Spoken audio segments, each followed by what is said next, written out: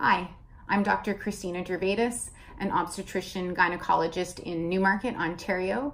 Welcome back to my video series entitled Talking IUC with Dr. D, my YouTube channel devoted to answering questions about intrauterine contraception. In today's video, we're going to compare the IUD compared to permanent sterilization or permanent contraception options, uh, namely tubal ligation uh, and also vasectomy. The first topic that we'll address in terms of comparison is the failure rates.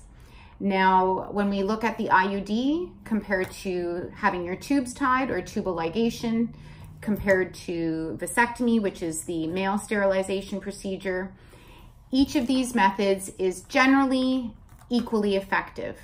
All of them have a chance of pregnancy in the range of 1 to 2%. With the IUD, the chance of pregnancy is about 2 to 6 or 8 per thousand, depending on levonorgestrel versus copper IUD, um, which overall, so a less than 1% chance of pregnancy. Uh, vasectomy, the male sterilization procedure, uh, even slightly more effective at 0.15% um, chance of pregnancy, uh, but definitely a less than 1% chance of pregnancy. And tubal ligation, uh, which is a surgical female procedure, if um, that is performed, the chance of pregnancy is in the range of 1% to 2%, with some variation depending on precisely how the surgeon performs the uh, tubal. There are varying methods. Uh, but bottom line is that the IUD is equally effective uh, as uh, tubal ligation, as is vasectomy. So all of these options are sort of comparable in terms of uh, failure rates. The second topic I'd like to compare is the risks. Um, and this is a big one. Uh, in terms of looking at IUD insertion versus tubal ligation, we'll start there. Um, an IUD insertion is an office procedure that takes about five minutes and is very low risk. I will refer you to my previous videos uh, talking about the what are the overall risks of um, IUD insertion. I've addressed that earlier. Compared to tubal ligation is a completely different story in that it actually is a surgical procedure. And even though we're talking day surgery uh, and not quotes major surgery, um, it still involves a general anesthetic in the operating room.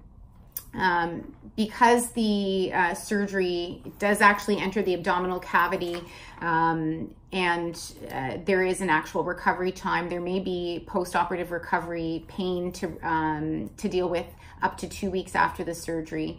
Um, and there are co potential complications related to the surgery. So when we do a tubal ligation, you have a general anesthetic. So there are uh, some small risks associated with general anesthesia, depending on your medical history and your health and whether or not you have other medical problems. Some patients might, be at higher risk uh, in terms of anesthetic exposure compared to others, but there is the risks of general anesthesia to consider.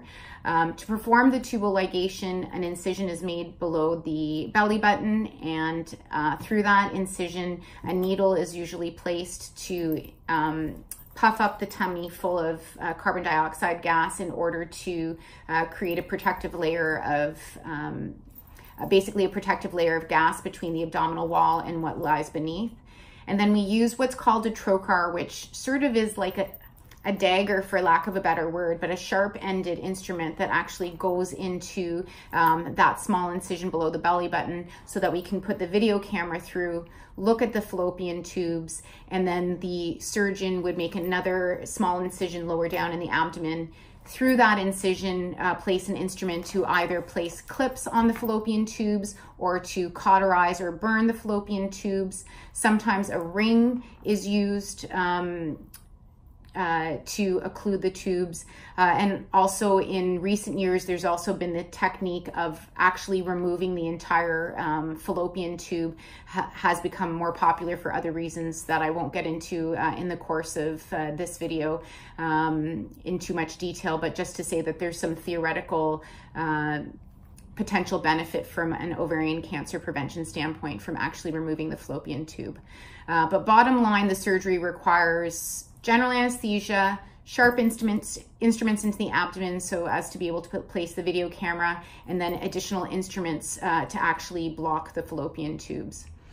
With any surgery um, such as this, which um, we describe this general procedure as laparoscopy, um, there is a two to three per thousand chance of injuring the things that live near the uterus and the fallopian tubes. So bowel, blood vessels, uh, bladder, uh, the ureters which travel from the kidney to the bladder. It's very rare that any of those things would happen, but in some circumstances, if there was one of these complications, it might even necessitate actually um, converting the procedure to what we call an open procedure, an abdominal procedure, where we're not using the mini keyhole um, surgical approach, that we're actually having to make a larger abdominal incision, uh, which would obviously have uh, a much greater recovery time. That's very, very rare, but I do always say to my patients that there's really not any such thing as quotes minor surgery because any minor surgery due to complications could potentially uh, progress to a more major surgery uh, to deal with those complications. Um, but the bottom line to emphasize here is that this is surgery that we're talking about. And in general, uh, speaking in general terms in gynecology in the year 2019 and in modern day gynecology, our goal is generally to help patients avoid surgery whenever we can and to avoid surgery and avoid the risks of surgery. So keeping that in mind, generally speaking, we would consider uh, tying someone's tubes as almost a last resort in terms of contraception. Um, that if a patient is going to go through an entire separate surgical procedure, um, that we really have to weigh those risks carefully. And if there are other uh, equally effective and much less risky options, then we would want to explore those first before subjecting someone to the risks of surgery. I will say that many women will have their tubes tied uh, at the time of C-section. Um, that's a completely different sort of approach in terms of weighing risks and benefits because in that situation the patient is already undergoing the surgery for the purposes of the c-section. Uh, the addition of the tubal ligation to that procedure doesn't overall increase her surgical risks or recovery time. So uh, that's probably one of the commonest scenarios uh, in which we are actually performing a tubal ligation uh, right now. And in most other instances, we're encouraging patients to explore other less invasive and less risky options that are equally effective. Now, looking at the risks of vasectomy as compared to uh, tubal ligation, uh, vasectomy is definitely considered a safer, less invasive procedure. Uh, and as I mentioned, it's equally effective as at preventing pregnancy. It's done just under local freezing. It does not require uh, general anesthesia, and so those risks are avoided.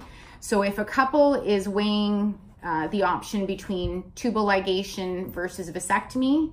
Um, the position of the Society of Obstetricians and Gynecologists of Canada and also the American Congress of Obstetricians and Gynecologists is that definitely vasectomy is considered an overall safer option compared to tubal ligation. So if both um, members of the couple, couple are willing to consider the procedure, definitely is considered safer and less invasive for the male partner to undergo a vasectomy.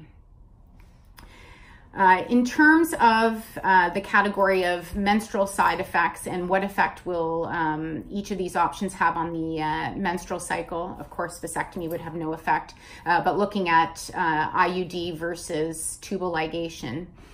Uh, keep in mind that if you choose a levonorgestrel IUD, so that would be commonly in Canada Mirena or Kyleena, uh, these options would potentially have the beneficial menstrual side effect of less heavy, less painful cycles in the majority of women.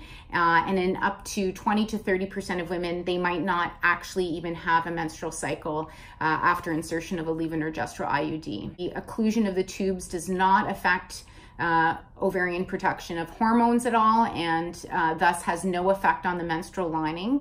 I will say that some patients have said to me after a tubal ligation, you know, my cycles are really different than they were before. They're much heavier.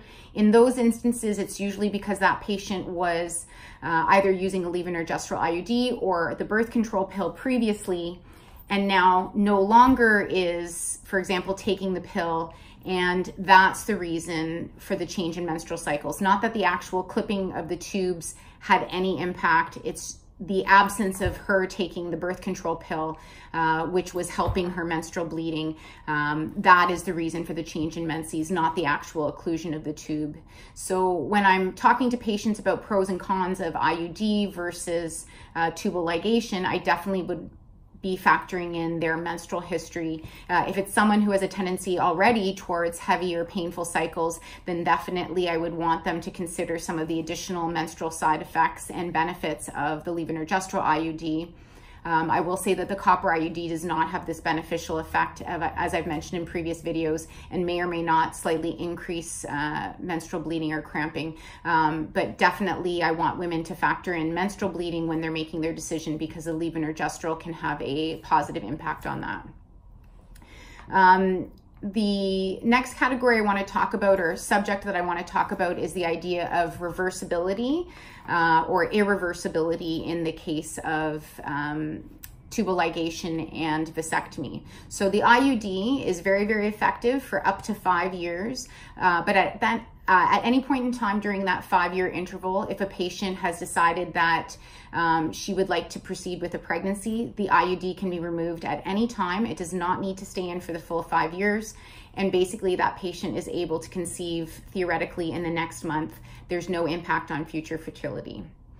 With regards to the uh, uh, tubal ligation procedure or vasectomy, we would consider these procedures permanent. So if a patient changes their mind after they've had the procedure, um, they're basically in a very difficult situation in terms of proceeding uh, with a pregnancy. Uh, in some situations, um, they have uh, been able to pursue procedures such as reversing the tubal or reversing the vasectomy, but I will tell you that these procedures are very expensive, very difficult to perform, and the chance of success is actually overall quite low. So if I have a patient who's asking me about tubal ligation and already has questions about uh, reversibility or being able to reverse a tubal, I automatically tell them, you know what, you need to be exploring other options. If you're already in your mind thinking, well, if I change my mind, we can undo this surgery, um, that is a sign that that patient is at a much higher risk of regretting the procedure uh, in the future. Uh, and regret uh, for having had a, a tubal or uh, in the male partner case, vasectomy uh, is one of the highest risks of each of these procedures. Um, if and I ask my patients to really think very, very seriously if they're going to contemplate something as permanent and final as having their tubes tied. Uh, I ask them to contemplate, you know, awful things that we don't want to have to think about, but no matter what happened to your current um, no matter what happened to your uh, current children or if the patient's pregnant, no matter what happened to the future to this uh, to this pregnancy or this child, no matter what happened to your husband, no matter what happened to your relationship, under no circumstances in the future would you ever want to be pregnant again. If the answer is a resounding yes, then that woman is at far lower risk of regretting the procedure. If there's hesitation and, um, you know, if there's any lingering doubt, then basically I encourage that patient to um, consider other non-permanent options um, that are equally effective, such as the IUD. And then um, the last thing I'll just mention that pertains to um, not only patients who've had their tubes tied or vasectomy or using an IUD, uh, also with regards to using uh, the birth control pill. Basically, just always a reminder that um, none of these methods prevent sexually transmitted infections. And so uh, for all patients who are with a new partner in the future, still very, very important for them to be using condoms uh, to uh, prevent STIs. Uh, just a reminder of that. So those were some of the uh, major topics that I wanted to discuss uh, as it pertains to IUD versus uh, tubal ligation and vasectomy. I hope this video has been useful. Um, as always, uh, I'll mention that in the time that it took, or less than the time that it took for you to watch this video, you could have had an IUD inserted.